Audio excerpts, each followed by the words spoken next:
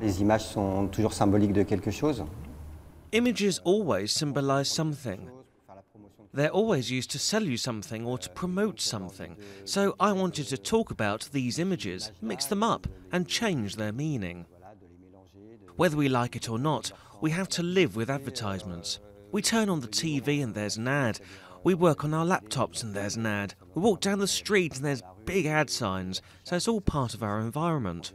Each of these images represent a certain view of the world.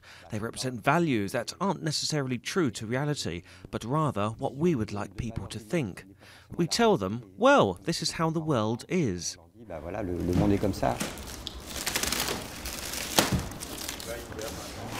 These are paintings that were started from a logo. Then I made a painting that relates to it, but in a distorted way. Here, for instance, there's an IKEA with Mr. Potato put together haphazardly. Monté un petit peu n'importe comment.